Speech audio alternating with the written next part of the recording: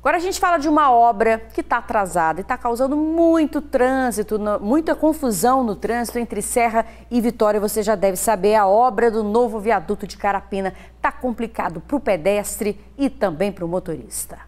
Por aqui as pistas não ficam vazias nem por um minuto. Tem carro, obra e gente a pé.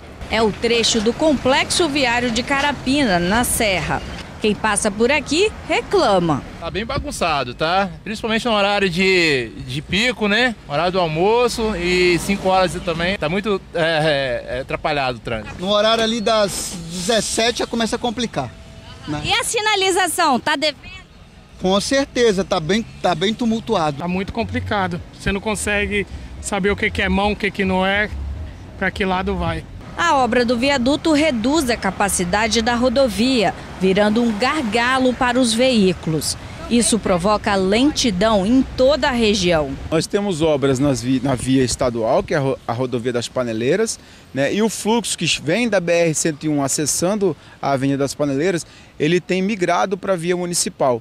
Isso tem trouxe para a gente um volume de veículos maior do que o normal para uma via municipal e acabou que saturou a via municipal.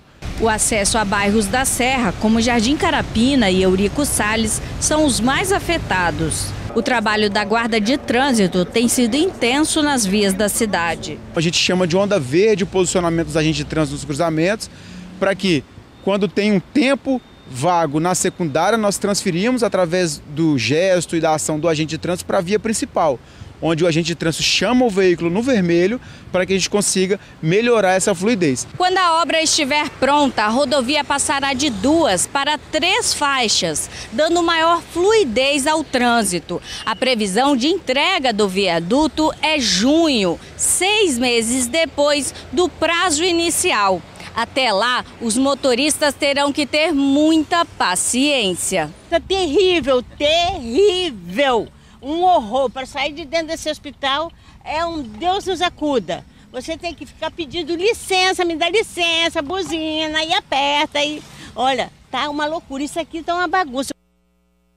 É, tá um sufoco para todo mundo. A gente espera que o prazo dessa obra não volte a ser adiado, né? A Secretaria de Mobilidade e Infraestrutura disse que essa é mesmo a fase final da obra. A previsão de entrega é até junho e prevê, além de novos acessos aos bairros Jardim Carapina e Eurico Salles, a ampliação da faixa do trecho da serra na rodovia das Paneleiras, vai ter ciclovias também e semáforos inteligentes.